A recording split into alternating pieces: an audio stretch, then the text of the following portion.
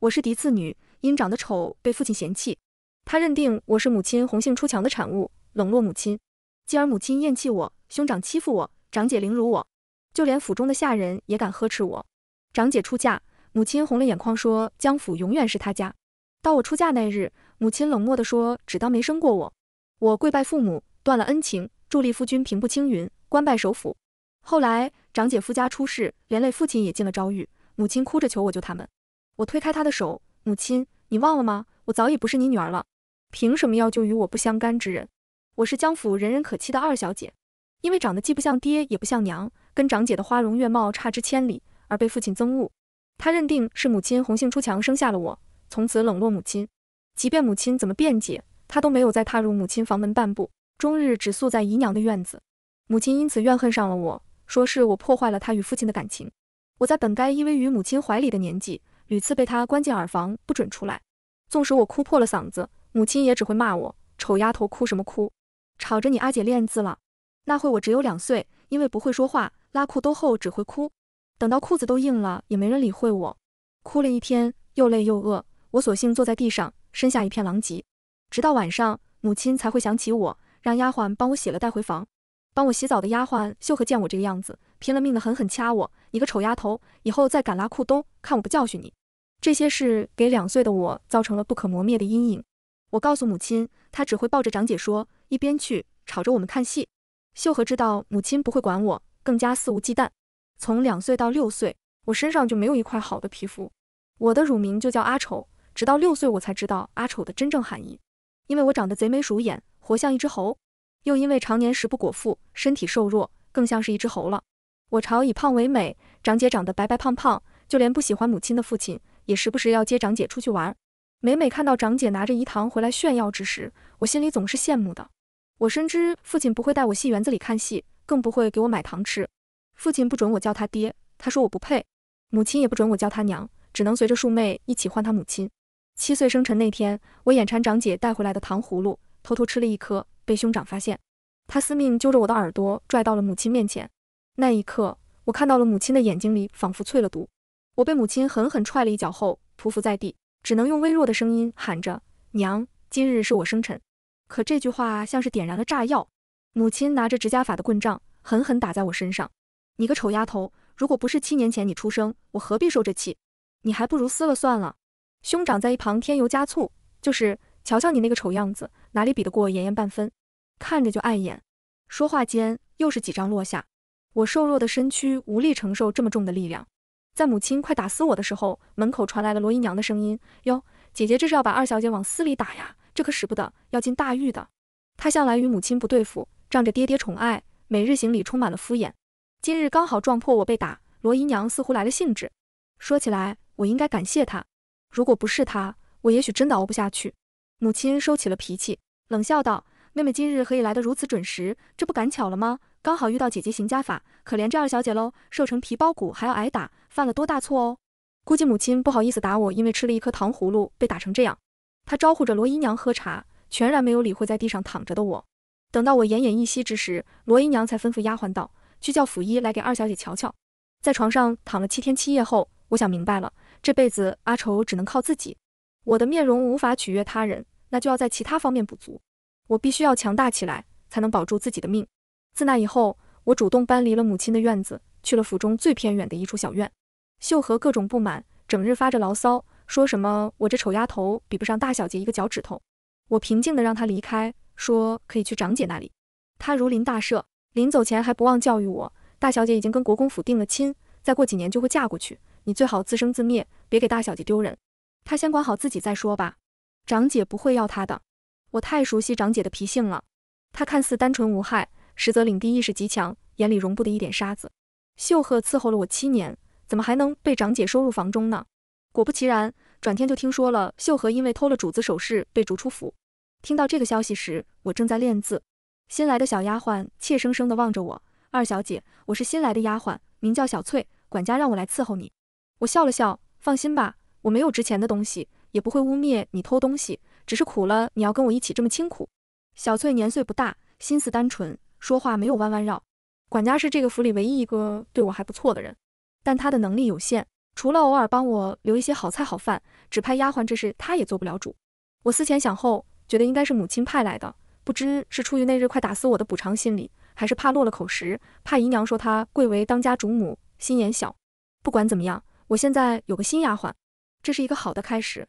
小翠跪在地上，二小姐，以后奴婢会尽心尽力伺候你。小翠没有骗我，她每日会将打探来的所有消息告诉我，比如母亲又给长姐请了什么先生，兄长又闯了什么祸，还有一些她不好说出口的，我都能猜到。他们一定会觉得骨瘦如柴的我熬不过那年冬天，他们巴不得我这个江府污点自生自灭。但我不但熬过来了，还变得身强力壮，甚至琴棋书画样样都比长姐学得精。这得益于小翠的情报，有了她打掩护，我所学的东西跟长姐没有任何区别，而且我更能下功夫，自然比她强上不止一星半点。为了锻炼身体，我每日坚持用冷水洗澡，天还没亮就在后院跑圈。坚持了这么久，总会有成效。我不再是弱不禁风的瘦猴，反而拥有单手提水桶的臂力。长姐屈尊降贵来我院子那天，我正在练字，想不到半年多未见，阿丑的字写的倒是挺漂亮。我没有应他，因为我知道他绝对不会夸我。可惜写那么好又有何用？当男人见到你的样子后，只会恶心到想吐。我停笔抬头看着他，假装懵懂无知。长姐今日是要带我出去玩吗？她已经十二岁，亭亭玉立，一副美人胚子，是人见人夸的娇俏模样。她见我这副样子，气恼地撕烂了我的字帖，又招呼身后的两个小丫头过来。那是罗姨娘的孩子，我的庶妹，一个五岁，一个六岁。阿丑的身上脏了，你们去帮他洗洗，洗干净了，我就带他去玩。两个妹妹以他为尊，指使丫鬟把我摁住，泼了两盆水到我身上。我内心早已毫无波澜。以前长姐就用过各种手段欺凌我，她知道我不敢跟母亲告状，肆无忌惮。今日她来，我一瞧便知道她是故意的。大概是谁走漏了风声？长姐知道我在这小院过得颇为自在，她摔烂了小翠帮我捡来的琵琶，踢翻了我的书案，用墨泼脏了我最宝贝的书。长姐戳着我的头怒喝道：“阿丑，就算是我不要的东西，你也没资格捡走。明明我们才是同胞姐妹，她却能纵容年幼的庶妹百般欺凌我。”院外落起了雨，我从头到脚都湿透。长姐对庶妹的表现很满意，一会姐姐请你们吃糖。其中一个妹妹高兴，把泥巴涂在我脸上。丑八怪，泥巴跟你更配。丑八怪，略略略。他们走后，我回到房间，收拾起一片狼藉的屋子。小翠回来后，急得哭红了眼。我听说老爷昨晚听到二小姐抚琴，还专门问了问是谁。我以为二小姐今日就能过好日子了。难怪，难怪一向不关心我的长姐会特意来看我，也算是侧面敲打我，不要妄图引起父亲注意。我笑了，高高在上的父亲大人怎么会对我刮目相看呢？这半年读了不少书，我明白了。父亲当年冷落母亲是早有此心，只不过借着我长得丑作为由头罢了。他不会为自己说过的话证明，一如他不再喜欢母亲。八岁生辰，我给自己改了名字，反正不能上族谱，我的名字我做主。江燕，我想像燕子一样飞出这宅院。自那以后，我更加拼命地读书。管家人心好，会在夜深人静放我去书房看书，到天明再出来。我在小院安安静静长到了十一岁，活得像个透明人。国公府终于来下了聘。商议了跟长姐的婚事。长姐成婚那日，府中热闹非凡，一百二十八台嫁妆如流水一般抬出府，所有人都在说江家嫁女儿气派。今日府上人多，没人管我，我再次偷偷溜了出去。正门外，母亲正拉着姐姐的手，红了眼眶。妍妍，去了那边有什么不如意就回来，江府永远是你家。就连父亲也动容。妍妍，万事有爹爹，你放心。我扭头离开，他们是一家人，我从来就不是。这些年，我甚至不敢生病。怕自己撕在那里也无人可知。去到书院，我依旧藏在窗侧旁听。只是这次运气不好，被先生抓了现行。好一个臭娃娃，竟敢偷听！你爹娘呢？我抿唇不语，伸出了手。这先生严厉，打起人来毫不犹豫。我是女子，不能上书院。我原以为先生会打我一顿，把我逐出去，没想到他让我坐进去。虽然在最后一排，我也很满足了。旁边一个少年递给我纸笔，给你。他笑起来，眼睛像月牙。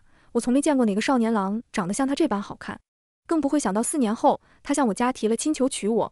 即便父亲嫌弃他是穷酸书生，我也义无反顾嫁给了他，因为他是这世上唯一没有说过我丑的人。我在书院上学的第三天，才知道了那个少年的名字，他叫宋觉，跟先生一个姓，但他说话很温柔，一点也没有先生那种压迫感。跟他处成了朋友之后，也会分享一些秘密，比如我乳名叫阿丑，一般人听到这个名字都会捧腹大笑。但他没有，只浅浅皱了皱眉。露出与年纪不太相符的成熟。这名字并不适合你。我苦笑，我母亲取的，至今府中上下都还叫我这个名字，除了小翠会叫我的名字。我没有告诉他，父亲甚至连名字也不帮我取，因为我不够资格。他认真的看了我一眼，阿燕，你肯定能像燕子一样飞得很高。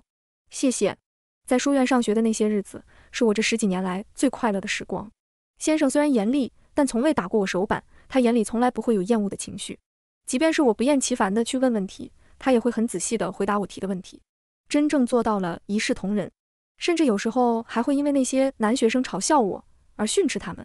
每天我都是偷偷摸摸去，偷偷摸摸回来，有小翠替我打掩护，加上父亲忙升迁，母亲忙着掌管后宅，没人知道我偷溜出府的事情。久而久之，大家似乎都忘了府里还有我这么个二小姐。宋觉上门提亲那日，我并不知情，正和小翠在院子里做刺绣，准备贴补家用。他早已结束了书院的生涯，去了国子监。要算起来，我们已经两年时间没见了。前些日子，我在书院的学习之路也走到了尽头。先生说我朝女子不能参加科考，我的路只能到这。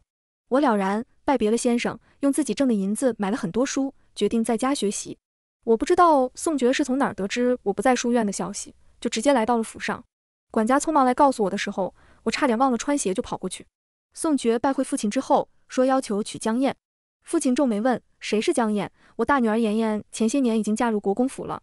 我气喘吁吁跑到门口，刚好听到他这一句，胸口酸胀不已。一如我所料，他连我的名字都不知道的。尽管我已经托管家告知了他们，他们仍旧没有一个人记得。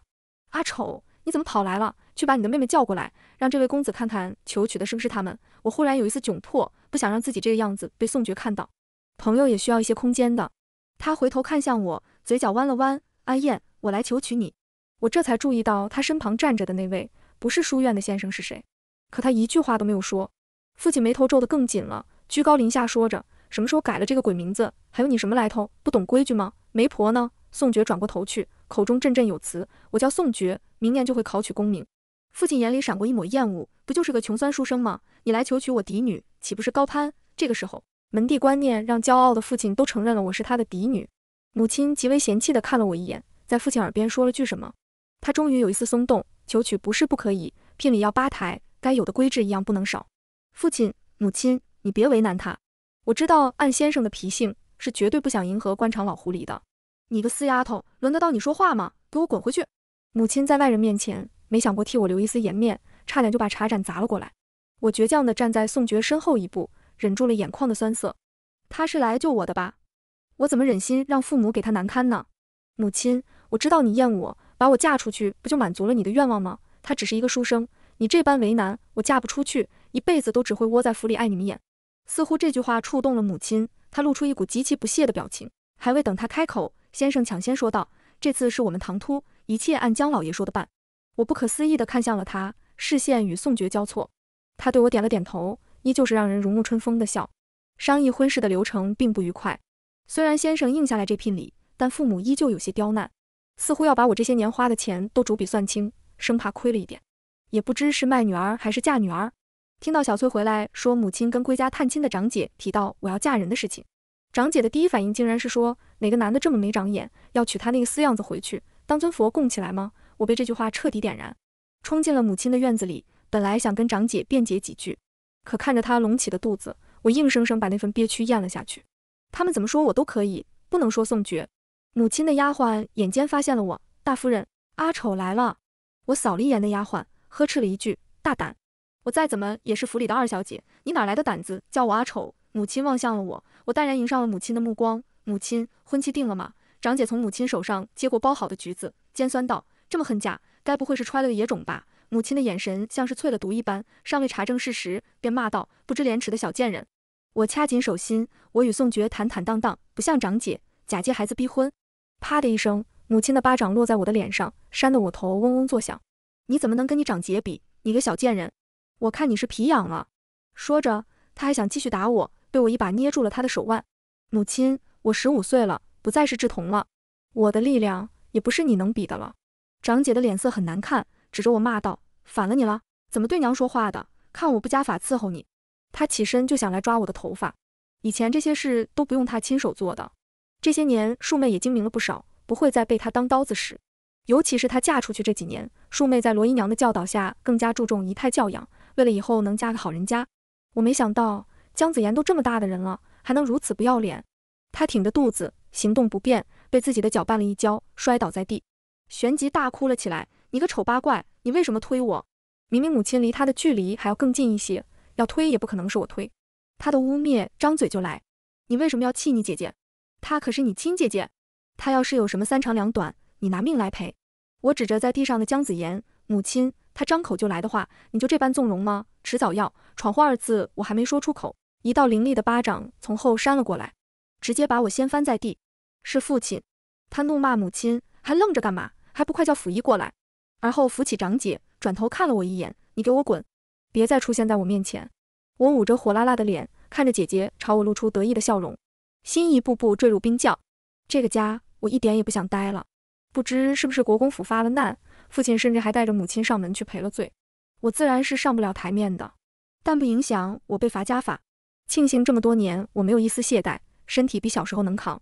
三十仗打完之后，我抬头看了一眼高高在上的父亲和母亲，他们的脸已经变得陌生，看我的眼神也像是在看一个无关紧要的丫鬟。我扛得住这顿打，也扛得住他们对我做出的任何事情。几日之后，父亲松了口，命管家来传了话。二小姐，老爷夫人商议好了日子，过几日就是良辰吉日。宋家书生那人不错，嫁过去不会受难的。我让小翠给管家看了茶，谢谢于总管这些年对我的照顾，我无以为报。将来若是需要我帮忙，我定当义不容辞。于总管笑得脸都起了褶子，有二小姐这句话，老奴就很欣慰了。希望二小姐从今日子红红火火。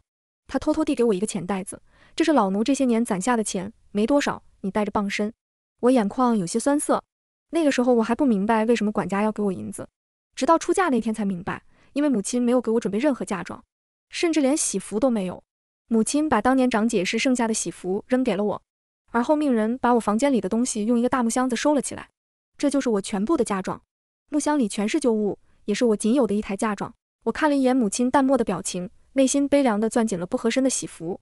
母亲没有为我梳头，我知道她并不想祝福我，我也不需要她的祝福。本来嫁给宋珏只是一时的计策，我知道宋珏是念在同窗情才救我于水火，所以不能再奢求什么。早已在心里打定主意，嫁过去一段时间就让写和离书，找个没有人的地方跟小翠一起生活。小翠不能跟你走，我掀开了盖头。为什么？母亲斜睨了我一眼，妍妍马上要生孩子了，得找个放心的人替她去讨好世子，巩固位置。可她是我的人，为什么不让她自己的丫鬟去？她的丫鬟还要做其他事，我不同意。你不祝福我。不给我准备嫁妆，想让我出丑，我都不在意。但是小翠必须跟我走。晚了，昨夜已经送上世子的床了。我指甲掐进了肉里，拼命咬住了牙关，才不至于一拳打在他脸上。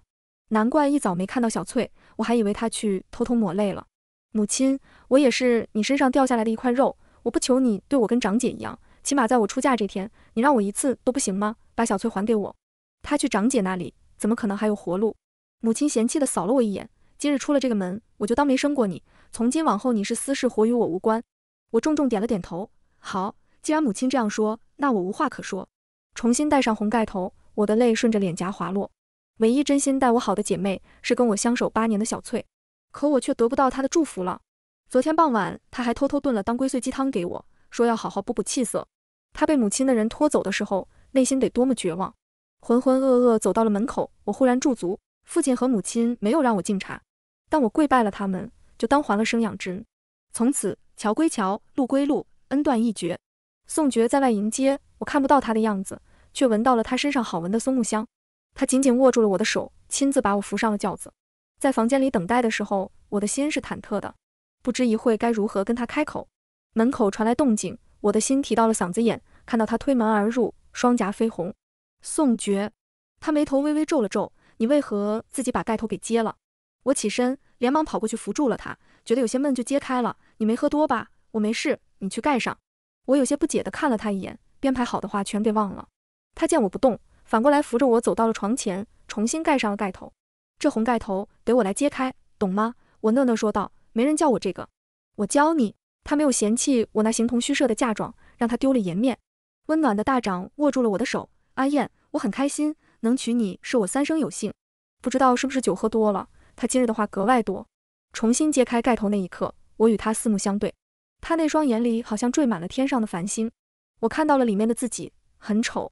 我迅速低下头，不着痕迹地往后挪了挪，不敢再去看他。宋觉，我知道你是为了……他没等我说完，就伸手捂住了我的嘴，凑到我耳边说：“该喝合卺酒了。”我轻轻摇了摇头，都是假的。现在没外人，做戏也不用做全套。我将他的手拿下来，宋觉，你先听我说完。他忽然一把抱住了我，吓得我往后一退，撞到了床头。他比我还紧张地揉了揉我的后脑勺，没事吧？没事。他起身去端来了合卺酒，而我坐在床头，有些茫然失措。我从未喝过酒，一杯下肚，头有些晕晕的。我抓住机会，握住了他的手腕。我知道你娶我是为了救我，我不会干涉你纳妾。如果你有心仪的女子，我可以跟你和离。他深深看了我一眼，堵住了我的嘴，用他的唇细细研磨。我惊慌失措，想推开他，却被他捉紧了双手。那一夜的发展是我始料未及的。我姑且只能把这归结于我们都喝了酒的缘故。还好第二日一早我醒来之时，身旁没有了人。我撑着身子起来，听到了门口有人交谈的声音。哎呀，我昨日才知咱家公子可不像表面那般温润呢，光是药水都要了三次。嘘，小点声，主子还在里面睡觉呢。放心吧，肯定还没醒呢。咱们这主子命真好，公子的爹明事理，娘走得早，公子还特别宠她，今日的敬茶都给免了。行了，别在背后议论主子了。我向来早起惯了。此时也睡不着，等他们不说话后，披上衣服就拉开了门。门口的两个小丫鬟吓得跪了下来。夫人早上好，劳烦帮我打盆水，谢谢。很快，我通过这两个小丫鬟了解清楚了宋觉的背景。他爷爷曾是国子监祭酒，但父亲没有从官的念头，考完举人便去书院做了教书先生。母亲早年因病去世，父亲没有再娶。这个家只有宋觉和他父亲，也就是我曾经的先生。两个丫鬟曾经伺候过宋觉母亲，现在被安排给了我。得知宋觉今日一早便去了国子监，我松了口气。你们若无事，可以自行安排，不用管我。我打发走了丫鬟，将那箱不能称之为嫁妆的木箱打开整理，该扔的我都扔了。所有书整理好后，坐在小院看起了书。嗨嗨，看来从书院出来后，你还是没有怠慢，先生。闻言，我站得笔直，恭敬点头行了一礼。在家不必拘礼，该改口了。我硬着头皮喊了声：“父亲，我去给你沏茶。”这些事丫鬟去做便可，你做，我有事跟你讲。虽然已经离开书院有些时日了，但先生的威严仍在，我不敢直视他，只默默低着头。我宋家三代单传，绝不纳妾。你与角儿以后好好过，这是我的一点心意。这个家从此你来掌家，我会搬去书院住。我抬头，不可思议地望着他，父亲，此事万万不可。他笑了笑，有何不可？我知道宋觉只是为了帮我，将来我肯定会离开。我看着他那双洞察一切的眼睛。有些说不下去，江燕，你可知觉儿一直心悦于你？我错愕地张了张嘴，什么也说不出口。怎么可能有人会喜欢我这样的人？身材单薄不说，长得还不好看。你别不信，我早看出来了，否则那一年也不会让你进来。只有你才能让他喝下那些药，也只有你带着他锻炼身体。没有你就没有现在的他。可是我相信他会认可我的决定。我只希望你们把日子过好，先生。我无以为报。只能跪在给他重重磕了个头。行了，快起来！都说了让你改口，还叫先生。这杯儿媳妇茶我喝了，从此你便是我宋家人。我热泪盈眶，我有家了，是先生和宋觉给我的，此生我定会报恩。当晚宋觉下学回来之时，兴奋地喊着：“娘子，我给你带了好多书。”我羞红脸，连忙拉他进了房间。看着他捧着书风尘仆仆的样子，我的心像是被温水泡开了一样。宋觉，谢谢你。他扁了扁嘴，昨夜怎么叫的？娘子莫非忘了？我摸了摸鼻子，丫鬟还在外面，我叫不出口。他扫了一眼桌子，两眼发着光。你也买了这本，看完了吗？我点点头，今天刚看完，正好我考你答。熟悉的画面又回来了，我们俩似乎回到了几年前的书院时光。那会，我们每日会给对方出问题，答错就弹脑瓜崩。现如今，就连丫鬟也没想到我们私下是这样相处的，这样挺好。他用我最习惯的方式避开了尴尬。在宋家待的时光快乐自由，我唯一记挂的便是小翠托了人给长姐带的信，全都石沉大海。长姐生产第二日，我得知了小翠的私讯，还是听丫鬟闲聊说起国公府昨夜喜的公子，有位丫鬟因犯错被打得半死，裹了张草席扔出来，今晨被发现已经没了气。我跑去了衙门，认了尸，埋了小翠。她是我在这个世界上唯一的亲人，不过才十六岁的年纪，她一天好日子都没有过上，就撕得这么不明不白。我发誓。要让那些人付出代价，可我一个普通女子，如何能与官斗？风大，先回家。宋觉替我披上了披风，将我拥入怀中。我的泪沾湿了他的衣裳。宋觉，你说为什么好人没有好报？娘子，好人会有好报的。你怀了身子，不能太过伤心。该付出代价的，我们都不会放过。我抬头看向他，目光灼灼。你曾经说过，只想跟你父亲一样做一个教书先生。现在呢，能不能去考科举？就当是帮帮我。宋觉捏了捏我的下巴，当然可以。不仅要替小翠报仇，还要让江府的人都付出代价。我已经很久没有听人提起过江府。确实，因为母亲小翠才会横尸街头。他们不付出代价，我心难安。宋觉平时跟我在一起，只会讨论功课，我们就像是同窗一样，互相鞭策着对方。可惜，因为我是女子。不能考科举，不能靠自己拜官翻身。那一夜，我睡得很不踏实，闭眼便是小翠那血肉模糊的尸体。宋觉将我搂得很紧，轻声安抚：“你的事便是我的事，娘子，我们一起努力。”自从那天之后，我与宋觉一起更加用功的读书，即便肚子一天天大起来，也从未懈怠过。我们的目标只有一个，让他考进殿试，入朝为官。一年后，宋觉参加乡试，夺得解元。次年，宋觉参加殿试，成功夺得状元。状元游街当天，我正在府里哄娃吃药，丫鬟跑进来，开心说：“夫人也夺得状元之位了。”正在游街，你不去看看吗？我晃了晃摇篮，不必。夫人，小公子我看着，你快去。我知道他在急什么。这份荣耀是属于宋爵的，今日崭露头角，街头巷尾会有无数贵女会主意于他。只要我报了仇，我便可以让出这夫人之位，让宋爵与他真正所爱之人长相厮守。我应该庆幸孩子长得像他。将来应该不会受继母欺负。我的复仇计划早在两年前开始布局，从那天起，我也谋划了自己的离开。对我们这样无名无姓的普通百姓来说，想要撼动国公府多年的基业，以及我父亲那样的老狐狸，不是易事。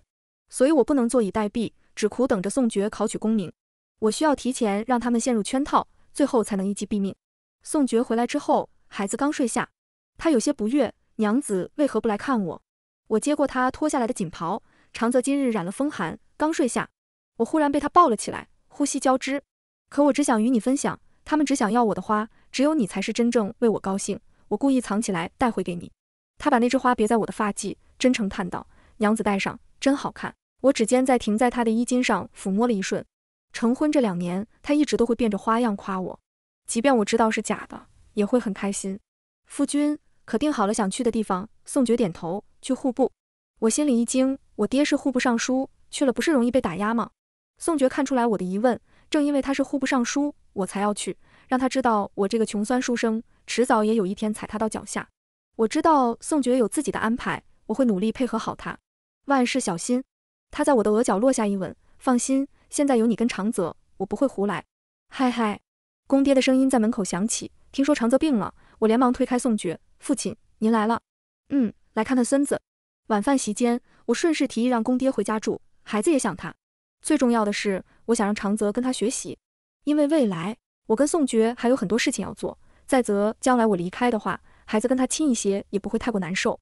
爹，既然阿燕让您留下，便住下吧，家里离书院也不远。行，他一人带孩子也挺辛苦，我回来帮帮忙吧。公爹应下此事，说辞了书院的职位，便回家来。当夜，宋觉在我耳边厮磨：“娘子，再给长泽生个妹妹好吗？”不是我不愿意生，是我这一条路太艰辛。我兵行险招，恐将成为戴罪之身，也许还会有生命危险。无论如何，我都不会连累宋爵和公爹。我紧紧搂住了他的肩，回应着他的热情。等他熟睡后，我到厨房灌下一碗避子药。当年怀长则是因为我什么都不懂，才会有了他。现在我不允许自己再犯错。屋内，宋爵睁开了眼，滚烫的泪划过眼角。他知道江燕没有安全感，即便自己给予他足够多的爱。他还是宁愿相信自己。宋觉想自己一定是做的不够好，才会让他如此决绝。明明很恩爱，自长泽之后肚子再无动静，他岂会不知江燕在做什么？他知道自己必须尽快完成江燕想做的事情，这样他才能真正融入跟他的小家。宋觉刚去户部，担任的是闲职，每日整理一些陈年案宗。很多人都不愿意来做这个事，堂堂状元郎却乐在其中。他每日回来便会将誊抄的重要事件以及金额给我过目。倒也让我们发现了一些蛛丝马迹。你先说，娘子，你先。我怀疑他利用了这两件事，他没公款，另外还可能跟国公府有牵扯。娘子聪慧，他不仅跟国公府有牵扯，还替首府做了不少事。这你也看出来了。我惊异于宋觉的细心，短短一个月而已，他就发现了这么多。那我曾经的布局，他会不会也有所察觉？我不敢深想，只顺着他的话接道：现在的情况是官官相护，我们如何才能掰倒这么多人？我打算从国公府入手，还要请娘子委屈一下，见一下姜子言。他不会想见我，所以是我去拜见他们。你与我一起，我怕我见了他会忍不住想动手。但宋觉说只用拖住他一个时辰，让他能和世子单独说话。我应下了。再见长姐那日，他穿金戴银，珠圆玉润，一副高高在上的样子，连招呼都不愿跟我打。世子妃安好。我忍下了怒气，主动行了一礼。他侧过脸，对着丫鬟说：“是什么鸟叫？听清了吗？”几个丫鬟哄堂大笑。奴婢只听到了乌鸦叫，还是只丑乌鸦。我抬眸扫了一眼那丫鬟，竟是不知道国公府还敢养乌鸦。陛下最憎恶此物，你们究竟有何居心呢？姜子言脸色一变，混账，说的什么胡话？拖下去掌嘴，让妹妹见笑了。她说此话无心之失，是吗？那只能说世子妃平日里管教无方，连个丫鬟都管不好，又何以长家呢？你别太放肆，别忘了今日是你夫君来求世子办事的。我早就听闻世子娶了几房美妾，已经嫌弃他人老色衰，如今一看。地位确实不够稳固，我只想问世子妃一句话：小翠是你要带来的，还是母亲硬塞给你的？姜子言烦躁地推开水杯，什么小翠小红的，我不知道。他身后的丫鬟欲开口，却没敢开口。我寻着机会问了那个丫鬟，她惊恐地答道：小翠是冤丝的，她每天都给我托梦，我真的快受不了了。你如何得知她是冤丝的？世子妃送她去给世子暖床，可每次回来都要打她泄愤。其实，在世子妃生产前，小翠已经被世子赶了出来，有了别的女人。世子妃觉得是小翠手段不够，没能替自己顾宠，活活把她打得半死，而后才发动生孩子。我与小翠同住，她给我讲她曾经照顾全世界最好的小姐，我很羡慕她，我还以为她能回去。我的身体在颤抖着，浑身冰凉。说完，那丫鬟给我了一根发簪，是我第一次赚到银子后给小翠买的。这个傻丫头一直舍不得戴，没想到连丝都没有带在身上。我跟她是同乡，这个交给你，求你帮她做场法事，别来找我了好吗？我答应你。我整理好心情后，回到凉亭，看到了长姐在打刚刚跟我说话的丫鬟。废物，我的点心你都弄错，再做错我废了你的手。长姐，好好珍惜你现在的日子，因为很快我会亲手为小翠报仇。我知道长姐喜欢吃甜食，特意买了苏记的点心，你尝尝。长姐接过我递过去的食盒，毫不客气的一口一个，将蝴蝶酥尽数吃完。苏记这点心真不错，你竟然还记得。当然，长姐的喜好和做过的事，我不会忘记一件。我含笑看着她。仿佛看到不久的将来，他瘦如枯槁、倒地不起的样子。世子不让我吃外面的点心，府里有没有个会做的？若是长姐喜欢，我以后每日差人给你送来，你让小桃来后门拿便可。妹妹，你果然对我好。母亲都说这些吃了不好，她说我长得太胖了。怎么会呢？丰腴一点才更美。世子也是喜欢你这样才娶你的。小桃就是刚刚跟我说话的丫鬟。我不停地吹捧她，递给小桃一个眼神，她闪躲着，然后坚定地看了我一眼。点心里有慢性毒药，剂量很小，不会检查出来。但若是与另一味药材同服，如同砒霜，那药材我刚刚交给了小桃，只说是给长姐补身子的。她知道我们是亲姐妹，接了过去。只要她每日煮汤之时放一点，旁人吃了会没事，唯有长姐会染毒。我不着急，仇要一步一步报。宋觉来接我的时候，我与长姐聊得甚欢，甚至摸清了世子的作息规律。回家后，我与宋觉交换了重要信息，他忽然抱住了我，娘子。你受苦了，我摇头，怎么会苦呢？我开心还来不及呢。宋觉因为捏住了国公府的三寸，升官升得很快，前有户部尚书的提携，后有首辅大人举荐，期间不少人来了我们家找公爹说媒。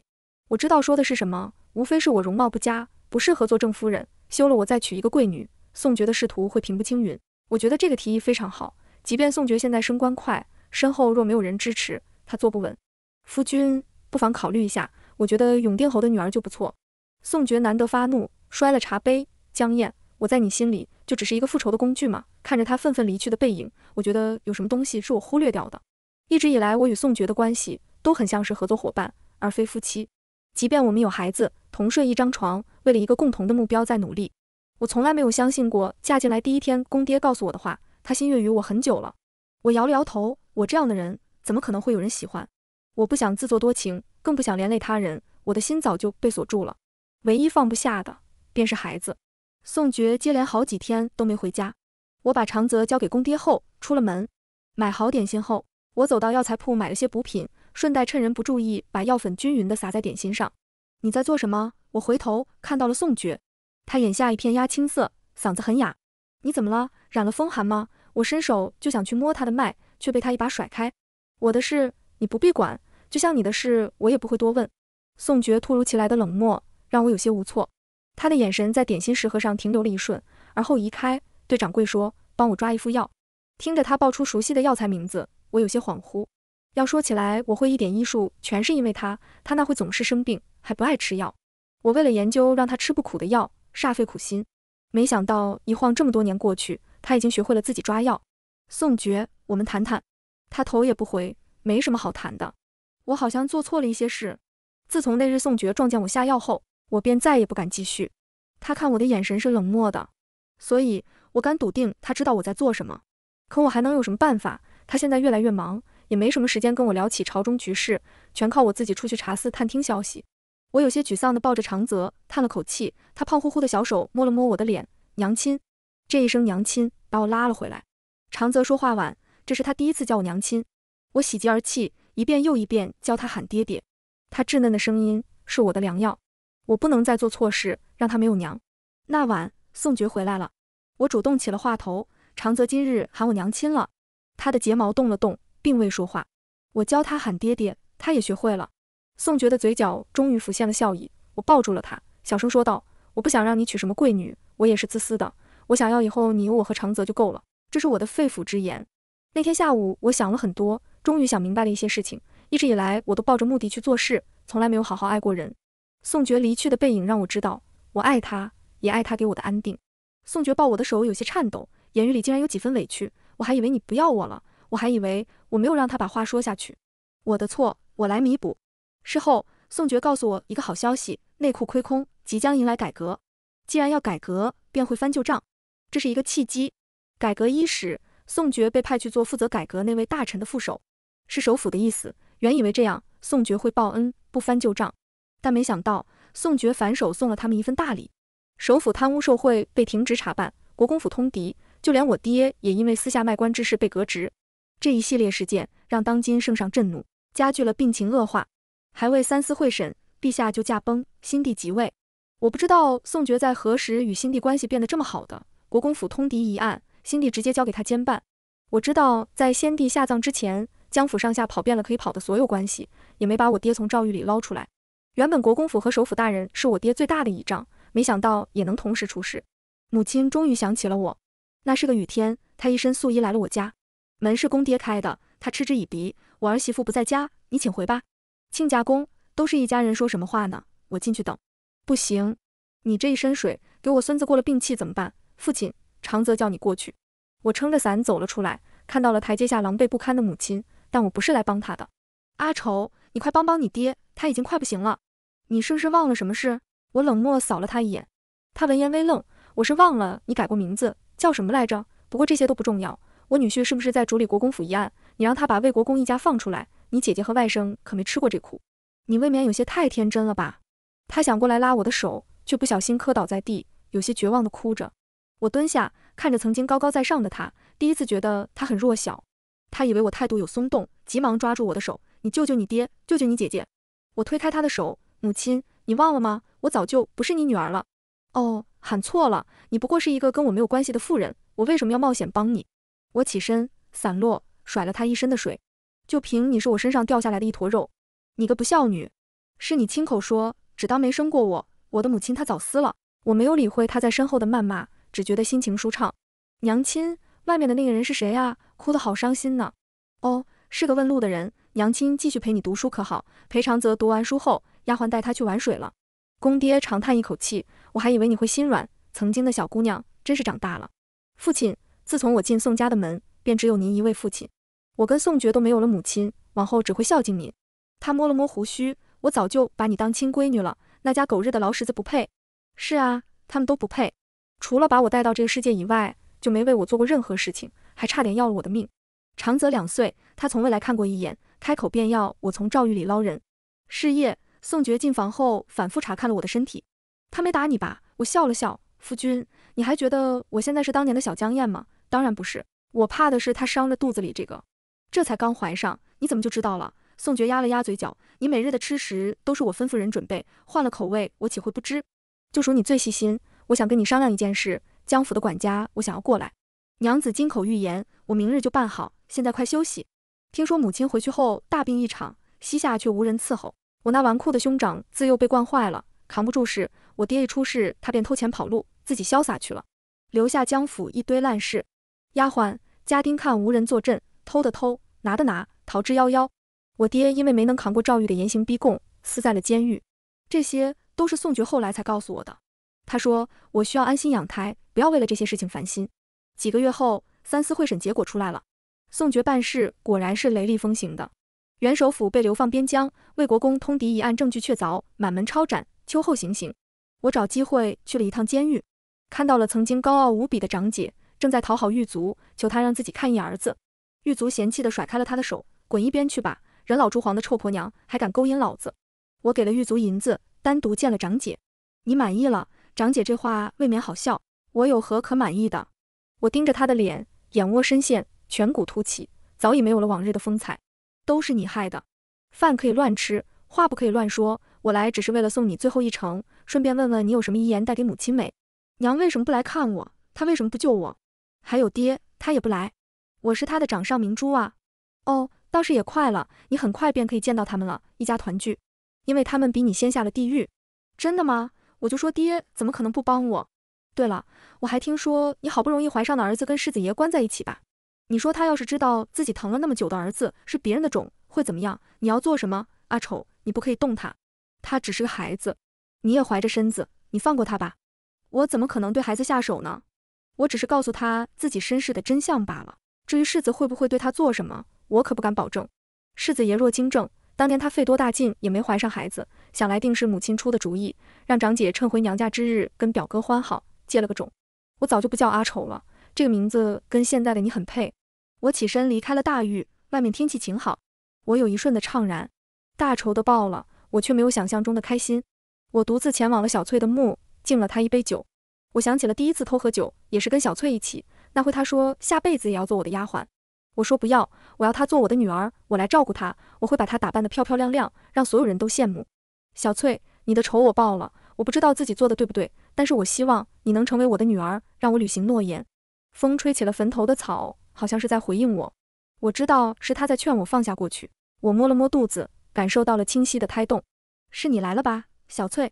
我们以后会越来越好的。万幸，我如愿以偿生了女儿，乳名小翠。宋爵视角，第一次见阿燕是在我病最重的时候，也是娘亲离开我的第三年。她坐在窗外，也不顾春寒料峭，穿得特别单薄。我撑着头，一直关注着他。只见他一边轻轻吸着鼻子，一边认真听先生讲学。先生就是我爹，在课堂上不准我叫他爹。我因为身体差，基本都不怎么出门。娘亲离开后，爹才不得不把我带到书院，坐在最后一排跟着旁听。他总是一副严肃的样子，沉着冷静的模样，跟他的年龄极其不符，让我不由好奇他到底是什么人。看他的穿着，不像是穷人家的孩子，可闺女都会请先生到家里去教。再不济也会去女学，不可能偷偷摸摸跑出来偷听。有一天，我终于看到他笑了，看样子是弄懂了一些问题。有两个浅浅的梨窝，很可爱。但我被我爹发现了，我不好好听课。当天晚上，他你没问我，不想上学，就自己在家好好养身子。我不爱喝苦药，爹不会像娘亲那般迁就我，爱喝不喝。我总是偷偷把药倒掉，身体一直不见好。爹因为娘亲的离世，心情也一直不好。我装作乖巧的说，有个小姑娘特别爱听你的课。你让她进来听，我就好好吃药。这是我第一次大胆给爹提要求，没想到他一口答应。我终于如愿以偿，跟他做了同桌。他怯怯说他的名字叫阿燕，我笑着答道：“我叫宋珏，很高兴认识你。”他很少说起家里的事，但会特别细心的照顾我。渐渐的，还会给我摸脉，监督我好好吃药。为了让我能吃下去药，他跟着药堂的大夫学了一阵，知道怎么替换那些苦味的药。她是个很聪明的小姑娘。他不知道，他第一次握住我手腕的那一瞬，我的心跳得有多快。我觉得自己有些贪恋他的好，该去国子监的时候都拖着不想过去。我爹找我谈心，你若是想娶人回家，起码得有一些能力吧？难道一直像你爹这样一事无成？也只有你娘不嫌弃。被爹看出来了心事，我有些窘迫，但同时也看到了差距。一次偶然机会，我得知她是户部尚书的嫡次女，想求娶她是高攀，所以我离开了书院，去了国子监。离开那日，他送了我一个荷包。宋珏，祝你高中。我忍住了想抱他的冲动，嘱咐他：“你好好读书，切勿分心，别喜欢别人，等等我。自此，我两耳不闻窗外事，认真读书，只为了三年后的相识。最后一年，我听江家那个大哥随口提了句，江家打算把阿燕许给户部侍郎做续弦。我连夜跑回了家，跟爹说我要娶她。我爹没说什么，默默将准备好的聘礼清点了一番，说第二日带我去下聘。万幸，他还没被议亲，只是那么久没见，他好像又瘦了，但是也长高了点。不出意外，我被刁难了，也知道他在这江府过的什么日子。我发誓。这辈子不会再让他吃苦。我爹把爷爷留下的贵重物品全都变卖了，才凑够了他爹娘提的聘礼，终于把他娶回了家。我总算可以光明正大的抱他了。他不会知道我肖想这天想了多久。他背上的伤还没好，刺痛了我的眼。我轻轻吻过了他的伤痕，在心里告诉自己，这一世我定会护好他。但是他好像有自己的主意。即便我说过会帮他做事，我愿意成为他的刀，但我知道他的心里对我没有足够的信心。他在偷偷布局。那些危险的事情，我不想让他沾上。我拼了命的读书，考上了状元。明明答应会来看我游街的他，终究没有出现。不过没关系，那朵花我藏了起来，只会留给他。不出意外，他戴上很好看。我每天都变着花样夸他好看，是想弥补他孩童时候的缺失。但是我忘了，幼年时期受过的伤，需要用一生去治愈。阿丑这个称谓对他来说是耻辱，他不会相信任何人，甚至跟我亲密之时，也是在想自己的退路。他从来就没有考虑过他离开我跟孩子怎么办。当我发现他策划毒死世子妃之时，我没控制住发了怒。借题发挥是我留给自己最后的体面，内心却害怕的要命。那是我第一次发火。反观他，情绪稳定，看不出来任何异常。我怕他离开我，不知道如何是好。窝在衙门好些天不敢回家，睡不好还染了风寒。没想到去药堂会遇到他。他说想跟我谈谈，我不敢，我怕听到他提和离那两个字，我无力承受。可我也好想他。晚上我回去了，因为我做的事情有了一些进展，迫不及待想告诉他。他好像换了一个人似的，很主动。原来他不是要跟我和离，跟我吐露了真情。我激动的抱紧了他，差点就哭了。可他却推开我：“你病了，得好好养着。”我第一次有些无赖的磨着他。